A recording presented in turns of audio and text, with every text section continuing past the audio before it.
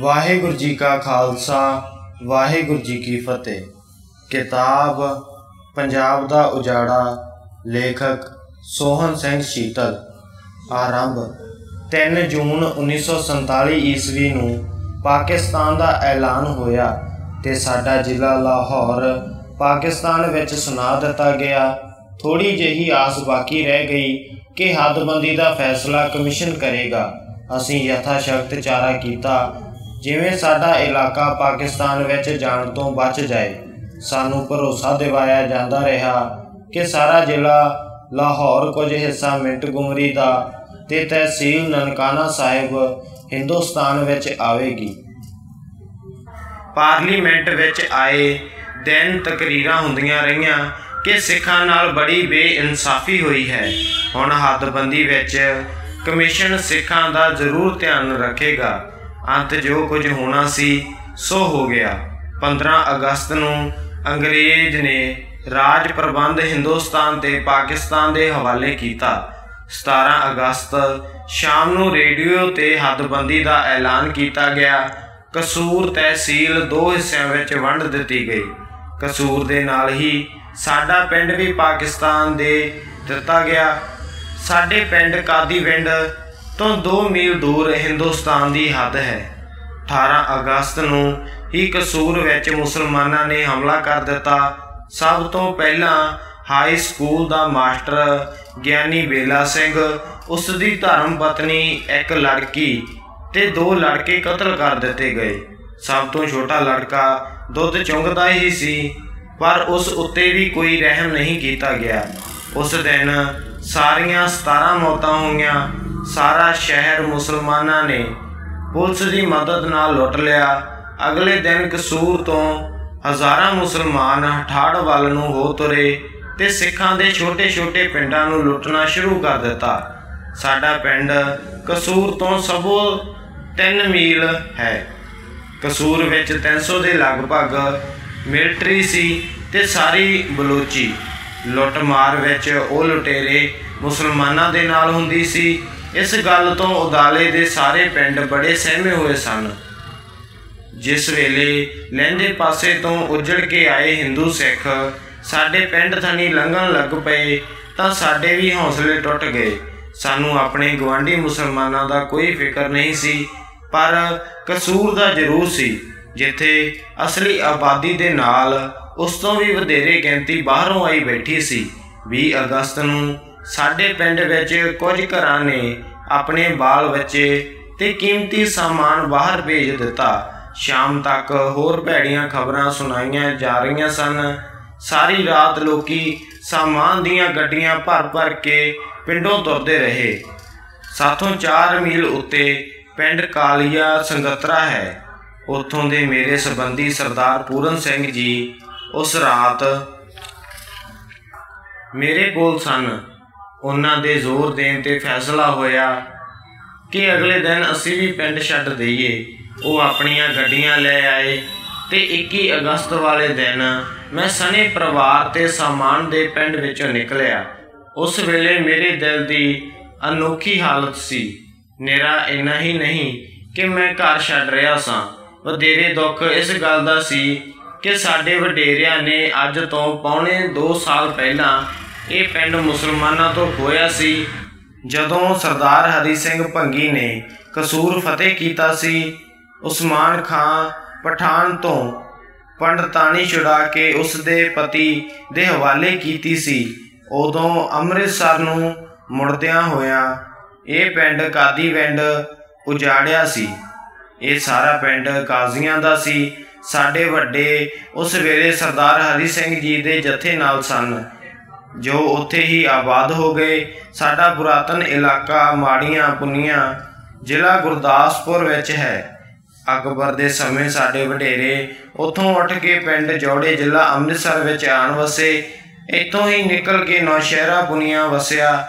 ਜੋੜੇ ਵਿੱਚੋਂ ਉੱਠ ਕੇ ਸਾਡੇ ਬਜ਼ੁਰਗਾਂ ਨੇ ਉੱਪਰ ਦੱਸੇ ਵਾਂਗ ਕਾਦੀਵਿੰਡ ਆਣ ਮੱਲਿਆ। ਯਾਦ ਵਜੋਂ ਪਿੰਡ ਦਾ ਨਾਂ ਉਹ ਕਾਦੀਵਿੰਡ ਹੀ ਰਿਹਾ। ਉਸ ਪੁਰਾਣੇ ਥੇ ਤੋਂ ਉੱਠ ਕੇ ਫਿਰ ਉਦਾਲੇ ਖੇਤਾਂ ਵਿੱਚ ਨਵੇਂ ਪਿੰਡ ਬਣ ਲਏ, ਜਿਨ੍ਹਾਂ ਦੇ ਨਾਮ ਕਾਦੀ ਕਾਦੀਵਿੰਡ ਬੱਲਾਂਵਾਲਾ, ਵਰਨ, ਤਰਗੇ ਤੇ ਨਥੂਵਾਲਾ ਪੈ ਗਏ। ਇਹ ਪੰਜੇ ਪਿੰਡ ਨਿਰੋਲ ਸਿੱਖਾਂ ਦੀ ਮਾਲਕੀ ਸਨ ਤੇ ਪੰਜੇ ਹੀ ਪਾਕਿਸਤਾਨ ਵਿੱਚ ਦੇ ਦਿੱਤੇ ਗਏ ਹਨ, ਜਿੱਥੇ ਇਹਨਾਂ ਦੀ ਹੱਦ ਮੁੱਕਦੀ ਹੈ, ਉੱਥੋਂ ਹਿੰਦੁਸਤਾਨ ਸ਼ੁਰੂ ਹੋ ਜਾਂਦਾ ਹੈ। ਤੇ ਅੱਜ ਅਸੀਂ ਉਹ ਮੁਸਲਮਾਨਾਂ ਦੇ ਹਵਾਲੇ ਕਰਕੇ ਚਲੇ ਜਾ ਰਹੇ ਸਾਂ। ਜਦ ਅਸੀਂ ਪਿੰਡ ਛੱਡ ਰਹੇ ਸਾਂ, ਉਦੋਂ ਕੁਝ ਮੁਸਲਮਾਨ ਤਾਂ ਖੁਸ਼ ਹੋ ਰਹੇ ਸਨ, ਪਰ ਬਹੁਤ ਸਾਰੇ ਬੜੇ ਉਦਾਸ ਸਨ। ਸਾਨੂੰ ਉਸ ਵੇਲੇ ਇਹ ਪਤਾ ਨਹੀਂ ਸੀ ਕਿ ਅਸਾਂ ਫੇਰ ਪਿੰਡ ਵਿੱਚ ਨਹੀਂ ਆਉਣਾ। ਬਹੁਤਿਆਂ ਦਾ ਖਿਆਲ ਇਹ ਸੀ ਕਿ 2-4 ਦਿਨ ਰੌਲਾ ਹੈ, ਫਿਰ ਅਮਨ ਹੋਏ ਤੇ ਸਾਰਿਆਂ ਆਪੋ ਆਪਣੇ ਥਾਈਂ ਵਾਪਸ ਆ ਜਾਣਾ ਹੈ। ਪਰ ਦਿਨੋਂ ਦਿਨ ਹਾਲਤ ਵਿਗੜਦੀ ਹੀ ਗਈ। ਮੈਂ ਸਣੇ ਪਰਿਵਾਰ 10 ਦਿਨ ਸੰਗਤਰੇ ਰਿਹਾ। ਸਰਦਾਰ ਪੂਰਨ ਸਿੰਘ ਜੀ ਨੇ ਵਿਤੋਂ ਵੱਧ ਕੇ ਸੇਵਾ ਕੀਤੀ। ਮੈਂ ਉਹਨਾਂ ਦਾ ਸਦਾ ਧੰਨਵਾਦੀ ਰਹਾਂਗਾ। 22 ਅਗਸਤ ਨੂੰ ਬਾਰਿਸ਼ ਸ਼ੁਰੂ ਹੋ ਗਈ। ਸੰਗਤਰਾ ਹਿੰਦੁਸਤਾਨ ਵਿੱਚ ਆਖਰੀ ਸਰਹੱਦੀ ਪਿੰਡ ਹੈ। ਪਾਕਿਸਤਾਨ ਵਿੱਚੋਂ ਆਉਣ ਵਾਲੇ ਬਹੁਤੇ ਇੱਥੇ ਆਣ ਕੇ ਖਲੋਂਦੇ ਸਨ। ਰਾਤ ਬਾਰਿਸ਼ ਵਿੱਚ ਸੈਂਕੜੇ ਲੋਕੀ ਬਾਹਰ, ਸੱਥ ਵਿੱਚ ਬੈਠੇ ਸਨ। ਮੈਂ ਵੀ ਸਾਰੀ ਰਾਤ ਮੀਂਹ ਵਿੱਚ ਕੋਠੇ ਉੱਤੇ ਹੀ ਕੱਟੀ। ਬਾਹਰੋਂ ਮੀਂਹ ਵਿੱਚੋਂ ਬੱਚਿਆਂ ਦੇ ਰੋਣ ਦੀ ਆਵਾਜ਼ ਆ ਰਹੀ ਸੀ, ਜੋ ਦਿਲ ਹਿਲਾ ਰਹੀ ਸੀ। ਅਗਲੇ ਦਿਨ ਪਿੰਡੋਂ ਬਾਹਰ 10000 ਉਜੜੇ ਹੋਏ ਭੋਏ ਤੇ ਪਏ ਹੋਏ ਸਨ। ਪਿੰਡ ਵਾਲਿਆਂ ਬਥੇਰਾ ਉਦਮ ਕੀਤਾ, ਪਰ ਉਹਨਾਂ ਸਾਰਿਆਂ ਜੋਗਾ ਆਟਾ ਨਾ ਮਿਲ ਸਕਿਆ। ਦਾਣੇ ਭੁੰਨਣ ਦਾ ਵੀ ਪ੍ਰਬੰਧ ਨਾ ਹੋ ਸਕਿਆ। ਸੋ ਕਈਆਂ ਨੇ ਕੱਚੇ ਛੋਲੇ ਚੱਬ ਕੇ ਗੁਜ਼ਾਰਾ ਕੀਤਾ। ਸਰਦਾਰ ਪੂਰਨ ਸਿੰਘ ਜੀ ਦੇ ਘਰ ਪੀਲੇ ਦੇ ਬਹੁਤ ਸਾਰੇ ਆਦਮੀ ਆ ਗਏ। ਜੋ ਦੋ ਦਿਨ ਦੇ ਭੁੱਖੇ ਸਨ। ਘਰ 'ਚ ਜਿੰਨਾ ਆਟਾ ਉਸ ਵੇਲੇ ਸੀ, ਉਹ ਸਾਰਾ ਉਹਨਾਂ ਨੂੰ ਖਵਾਇਆ ਗਿਆ ਤੇ ਅਸੀਂ ਦੋਵੇਂ ਪਰਿਵਾਰ, ਮੇਰਾ ਤੇ ਸਰਦਾਰ ਪੂਰਨ ਸਿੰਘ ਦਾ ਰਾਤ ਭੁੱਖੇ ਹੀ ਸੁੱਤੇ। ਅਸਲ ਵਿੱਚ ਸੁੱਤੇ ਸ਼ਬਦ ਠੀਕ ਨਹੀਂ, ਕਿਉਂਕਿ ਬਾਹਰੋਂ 10000 ਆਦਮੀਆਂ ਵਿੱਚੋਂ ਸੈਂਕੜੇ ਦੀਆਂ ਕੂਕਾਂ ਪਾਕਿਸਤਾਨੀ ਜ਼ੁਲਮ ਨੂੰ ਰੋ ਰਹੀਆਂ ਸਨ। 23 ਦੀ ਸਭ ਤੋਂ ਦੁਖਦਾਈ ਘਟਨਾ ਇਹ ਹੈ ਕਿ ਪਿੰਡ ਵਰੀਮ ਦੀ ਬੀਬੀ ਬੱਗੋ ਨੇ ਇੱਥੇ ਆਣ ਕੇ ਪ੍ਰਾਣ ਤਿਆਗ ਦਿੱਤੇ। ਉਹ ਤਿੰਨਾਂ ਦਿਨਾਂ ਦੀ ਭੁੱਖੀ ਤਿਹਾਈ ਕਾਫਲੇ ਨਾਲ ਭੱਜੀ ਆਈ। ਇੱਥੇ ਆਣ ਕੇ ਉਸਨੇ ਬਾਲ ਜਨਮਿਆ, ਜਿਸ ਕਾਰਨ ਉਸ ਦੀ ਮੌਤ ਹੋ ਗਈ। ਹੱਦਬੰਦੀ ਦੇ ਐਲਾਨ ਤੋਂ ਪਿੱਛੋਂ ਦਸਾਂ ਦਿਨਾਂ ਵਿੱਚ ਬਹੁਤ ਸਾਰੀ ਆਬਾਦੀ ਇਧਰੋਂ ਉਧਰ ਤੇ ਉਧਰੋਂ ਇੱਧਰ ਆ ਗਈ। ਹੁਣ ਤਸੱਲੀ ਹੋ ਗਈ ਕਿ ਕੋਈ ਧਿਰ ਵੀ ਥੋੜੇ ਕਿਤੇ ਫਿਰ ਆਪਣੇ ਟਿਕਾਣੇ ਨਹੀਂ ਜਾ ਸਕੇਗੀ। ਸੋ ਅਸੀਂ ਵੀ ਸੰਗਤਾਰੇ ਤੋਂ ਅਗਾਹ ਦੀ ਤਿਆਰੀ ਕਰ ਲਈ, ਜਿੱਥੇ ਗੁਜ਼ਾਰੇ ਜੋਗੀ ਜ਼ਮੀਨ ਮਿਲ ਸਕੇ। ਇੰਨੀ ਦਿਨੀ ਮੀਂਹ ਦਾ ਬੜਾ ਜ਼ੋਰ ਸੀ ਤੇ ਛੇ ਫੇਰੇ ਪਾਣੀ ਹੀ ਪਾਣੀ ਫਿਰਦਾ ਸੀ, ਮੇਰੇ ਪ੍ਰੇਮ ਸਨੇਹੀ ਸਰਦਾਰ ਗੁਰਦਿੱਤ ਸਿੰਘ ਜੀ ਤੇ ਸਰਦਾਰ ਚੰਨਨ ਸਿੰਘ ਜੀ, ਪਿੰਡ ਮੂਸਾ ਨਿਵਾਸੀ ਆਏ ਤੇ ਮੇਰੇ ਪਰਿਵਾਰ ਨੂੰ ਨਾਲ ਲੈ ਕੇ ਮੂਸੀ ਚਲੇ ਗਏ। ਮੀਂਹ ਦੇ ਕਾਰਨ ਇੱਕ ਰਾਤ ਰਾਹ ਵਿੱਚ ਕੱਟ ਕੇ ਉਹ 30 ਅਗਸਤ ਨੂੰ ਮੂਸੀ ਪੁੱਜੇ। ਅਗਲੇ ਦਿਨ 31 ਨੂੰ ਮੈਂ ਵੀ ਕੁਝ ਸਾਮਾਨ ਲਦਵਾ ਕੇ ਮੂਸਿਆਂ ਨੂੰ ਤੁਰ ਪਿਆ। ਮੇਰੇ ਕੋਲ ਸਾਈਕਲ ਸੀ, ਜੋ ਹਫ਼ਤੇ ਭਰ ਦਾ ਬਿਲਕੁਲ ਤੰਦਰੁਸਤ ਪਿਆ ਸੀ। ਪਰ ਜਿਉਂ ਹੀ ਮੈਂ ਪਿੰਡੋਂ ਬਾਹਰ ਨਿਕਲਿਆ ਕਿ ਅੱਧਾ ਮੀਲ ਤੇ ਜਾ ਕੇ ਉਹਦੇ ਦੋਹਾਂ ਪਈਆਂ ਚੋਂ ਫੂਕ ਨਿਕਲ ਗਈ ਮੁੱਕਦੀ ਗੱਲ ਸਾਈਕਲ ਸਾਥ ਤੋੜ ਗਿਆ। ਮੈਨੂੰ ਉਸ ਵੇਲੇ ਇਹ ਸ਼ੇਰ ਯਾਦ ਆਇਆ। ਕਾ ਬਖਤੀ ਮੈਂ ਕਬ ਕੋਈ ਕਿਸੇ ਕਾ ਸਾਥ ਦੇਤਾ ਹੈ? ਕਿ ਤਾਰੀਕੀ ਮੇ ਸਾਇਆ ਵੀ ਜੁਦਾ ਹੋਤਾ ਹੈ ਇਨਸਾਨ ਸੇ? ਸੋ ਸੰਗਤਰੇ ਤੋਂ ਮੂਸਿਆਂ ਤੱਕ ਮੈਨੂੰ ਸਾਈਕਲ ਰੇਹੜ ਕੇ ਲਿਜਾਣਾ ਪਿਆ। ਉਸ ਦਿਨ ਜ਼ਿੰਦਗੀ ਵਿੱਚ ਪਹਿਲੀ ਵਾਰ ਮੈਂ 20 ਮੀਲ ਸਫ਼ਰ ਪੈਦਲ ਕੀਤਾ। ਇੱਕ ਹਫ਼ਤਾ ਅਸੀਂ ਮੂਸੀ ਸਰਦਾਰ ਗੁਰਦਿੱਤ ਸਿੰਘ ਜੀ ਦੇ ਘਰ ਰਹੇ। ਉਹਨਾਂ ਬੜੇ ਪ੍ਰੇਮ ਨਾਲ ਸੇਵਾ ਕੀਤੀ। ਫਿਰ 6 ਸਤੰਬਰ ਨੂੰ ਸ਼ਾਹਪੁਰੇ ਚਲੇ ਗਏ, ਕਿਉਂਕਿ ਉੱਥੇ ਮੁਸਲਮਾਨਾਂ ਦੀ ਜ਼ਮੀਨ ਹੈਗੀ ਸੀ। ਸ਼ਾਹਪੁਰੇ ਸਰਦਾਰ ਉਤਮ ਸਿੰਘ ਜੀ ਨੇ ਸਾਡੀ ਬੜੀ ਮਦਦ ਕੀਤੀ, ਜਿਨ੍ਹਾਂ ਦਾ ਮੈਂ ਸਦਾ ਧੰਨਵਾਦੀ ਰਹਾਂਗਾ। ਉੱਥੇ ਇਹ ਖਬਰ ਮਿਲੀ ਕਿ ਤਹਿਸੀਲ ਕਸੂਰ ਵਾਲਿਆਂ ਨੂੰ ਪੱਟੀ ਤਹਿਸੀਲ ਵਿੱਚ ਜ਼ਮੀਨ ਮਿਲਣੀ ਹੈ। ਮੈਂ 18 ਸਤੰਬਰ ਨੂੰ ਪੱਟੀ ਗਿਆ। ਉੱਥੋਂ ਜ਼ਮੀਨ ਵੰਡਣ ਤੇ ਮੈਜਿਸਟ੍ਰੇਟ ਸਰਦਾਰ ਲਾਲ ਸਿੰਘ ਕੰਗ ਲੱਗਾ ਹੋਇਆ ਸੀ। ਉਸ ਦਾ ਵਰਤਾਓ ਵੇਖ ਕੇ ਮੈਂ ਹੈਰਾਨ ਰਹਿ ਗਿਆ। ਉਸ ਨੂੰ ਉਜੜਿਆ ਹੋਇਆ ਭਰਾਵਾਂ ਨਾਲ ਅਸਲੀ ਹਮਦਰਦੀ ਨਹੀਂ ਸੀ। ਉਹ ਹਰ ਪਤਵੰਤੇ ਦੀ ਇੱਜ਼ਤ ਲਾਉਂਦਾ ਸੀ ਤੇ ਸਭ ਨੂੰ ਵੱਢਣ ਪੈਂਦਾ ਸੀ। ਮੁੱਕ ਦੀ ਗੱਲ ਲਿਖਣਾ ਪਵੇਗਾ ਕਿ ਉਹ ਇਨਸਾਨ ਨਹੀਂ ਸੀ। ਮੈਂ ਇਹ ਵੇਖ ਕੇ ਹੀ ਵਾਪਸ ਆ ਗਿਆ। ਮੈਂ ਤਰਨਤਾਰਨ ਤਹਿਸੀਲਦਾਰ ਨੂੰ ਮਿਲਿਆ ਤਾਂ ਉਸਨੇ ਸ਼ਾਹਪੁਰੇ ਦੀ ਜ਼ਮੀਨ ਦਾ ਪਰਮਟ ਕੱਟ ਦਿੱਤਾ। ਸ਼ਾਹਪੁਰੇ ਵਾਲਿਆਂ ਸੱਜਣਾ ਨੇ ਬੜਾ ਪ੍ਰੇਮ ਕੀਤਾ ਤੇ ਹਲ ਪਾ ਕੇ ਪਹਿਲੀ ਬੀਜ ਦਿੱਤੀ। ਉਹ ਹਰ ਤਰ੍ਹਾਂ ਮੇਰੀ ਮਦਦ ਕਰਨਾ ਚਾਹੁੰਦੇ ਸਨ ਤੇ ਇੱਛਾ ਪ੍ਰਗਟ ਕਰਦੇ ਸਨ ਕਿ ਮੈਂ ਉੱਥੇ ਹੀ ਰਹਾ।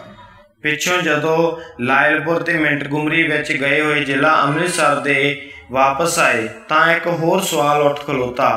ਅੰਮ੍ਰਿਤਸਰੀਏ ਛੋਟੇ ਲੀਡਰ ਇਹ ਆਖਣ ਲੱਗ ਪਏ ਕਿ ਅਸਾਂ ਇੱਥੇ ਇਸੇ ਜ਼ਿਲ੍ਹੇ ਦੇ ਵਾਪਸ ਆਏ ਵਸਾਉਣੇ ਹਨ ਤੇ ਹੋਰ ਕਿਸੇ ਨੂੰ ਖਾਸ ਕਰ ਜ਼ਿਲ੍ਹਾ ਲਾਹੌਰ ਨੂੰ ਨਹੀਂ ਰਹਿਣ ਦੇਣਾ। ਮੇਰਾ ਜ਼ਿਲ੍ਹਾ ਵੀ ਲਾਹੌਰ ਸੀ, ਸੋ ਮੈਨੂੰ ਸ਼ਾਹਪੁਰੀਏ ਵਿੱਚ ਬੀਜੀ ਬਿਜਾਈ ਜ਼ਮੀਨ ਛੱਡਣੀ ਪਈ। ਮੈਂ ਜ਼ੀਰੇ, ਜ਼ਿਲ੍ਹਾ ਫਿਰੋਜ਼ਪੁਰ ਆ ਕੇ ਸਰਦਾਰ ਹਰਬੰਸ ਸਿੰਘ ਤਹਿਸੀਲਦਾਰ ਸਾਹਿਬ ਨੂੰ ਮਿਲਿਆ। ਉਹ ਗੜਬੜ ਵਿੱਚ ਪਿੱਛੋਂ ਕਸੂਰ ਆਏ ਸਨ। ਉਹ ਬੜੇ ਪ੍ਰੇਮ ਤੇ ਆਦਰ ਨਾਲ ਮਿਲੇ ਤੇ ਜ਼ੀਰੇ ਵਿੱਚ ਮੇਰੇ ਨਾਮ ਜ਼ਮੀਨ ਅਲਾਟ ਕਰ ਦਿੱਤੀ। ਮੈਂ 24 ਸਤੰਬਰ ਨੂੰ ਸ਼ਾਹਪੁਰ ਛੱਡਿਆ ਤੇ 26 ਨੂੰ ਪੜਾਣੇ ਤਹਿਸੀਲ ਜ਼ੀਰਾ ਆਪਣੇ ਸਬੰਧੀ ਸਰਦਾਰ ਦਲਬੀਰ ਸਿੰਘ ਬਾਹਲ ਸਿੰਘ ਦੇ ਘਰ ਪੁੱਜਾ। ਜਵਾਲ ਸਿੰਘ ਦੇ ਘਰ ਪੁੱਜਾ।